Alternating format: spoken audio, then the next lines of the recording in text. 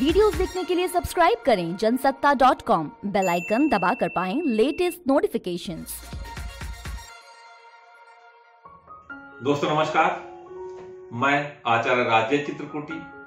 आज आपको महाशिवरात्रि व्रत के बारे में बताने जा रहा हूँ। महाशिवरात्रि व्रत प्रत्येक वर्ष फागुन मास कृष्ण पक्ष की चतुर्दशी को मनाते हैं।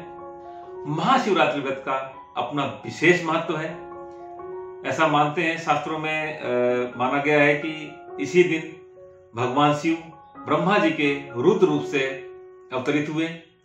ऐसा मानना है कि इसी दिन भगवान शिव ने तीसरे नेत्रों से पूरे ब्रह्मांड को खत्म करने का प्रयास किया था।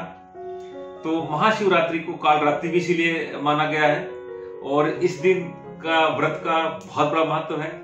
कहते हैं कि जो व्यक्ति चौदह वर्ष तक लगातार महाशिवरात्रि का व्रत कर लेता है, उसके सारे पाप, सारे दोष, सारे सब नष्ट हो जाते हैं और उसे मोक्ष की प्राप्ति होती है, वैकुंठ की प्राप्ति होती है।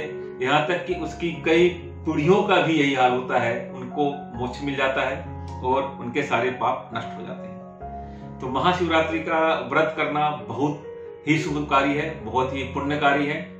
इस दिन इसका जो पूजन विधान है तो इससे एक दिन पहले, यानी त्रयोदशी को एक टाइम भोजन करना चाहिए और शिवरात्रि वाले दिन निराहार व्रत करना चाहिए, रात्रि को जागरण करना चाहिए। सुबह नहा धो करके, शुद्ध कपड़े पहन करके मन में संकल्प करना चाहिए और संकल्प में जो आप आप चाहते हैं कि आपको संतान चाहिए, धन चाहिए मान सम्मान चाहिए, जो आपको चाहिए, आप मन में संकल्प कर लिए कि हम ये संकल्प करते हैं। संकल्प करने के बाद आपको भगवान शिव, माता पार्वती, गणेश जी, नंदी, इनकी आपको षोडशोपचार विधि से इनकी पूजन करनी चाहिए। और इनमें दूरबा है बिल्व पत्र है बिल्व पत्र जो है, बेल के पत्ते जो है, ये भगवान शिव को बहुत पसंद है। ये तीन पत्ते वाले ही आपको चढ़ाने चाहिए। तीन पत्ते हो या पाँच पत्ते हो, खंडित नहीं होना चाहिए मतलब कहीं से कटे फटे पत्ते नहीं होने चाहिए।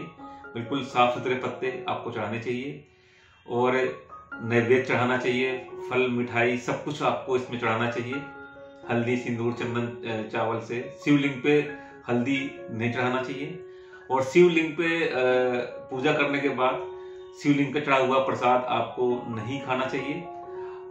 ऐसा भी कहते हैं कि शिवलिंग की जब पूजा कर रहे हो तो पास में शालिग्राम की भी मूर्ति रख लेनी चाहिए। अगर आप शालिग्राम की मूर्ति रख के अगर पूजा करते हैं तो फिर आप शिवलिंग का प्रसाद आप ग्रहण कर सकते हैं। ऐसा शास्त्रों में माना गया है। तो शिवरात्रि वाले दिन रात को जागरण करना चाहिए। इस दिन से शिव जी का रुद्राभिषेक करना चाहिए, शिव चालीसा का पाठ करना चाहिए, शिव पुराण पढ़ना चाहिए। इसमें अलग अलग आपको फल प्राप्ति करने के लिए जो आपकी इच्छा है, उसके हिसाब से आप इसमें पूजन कर सकते हैं। जैसे आपको मनोकामना पूर्ति करनी है तो आपको दूध से अभिषेक करना चाहिए।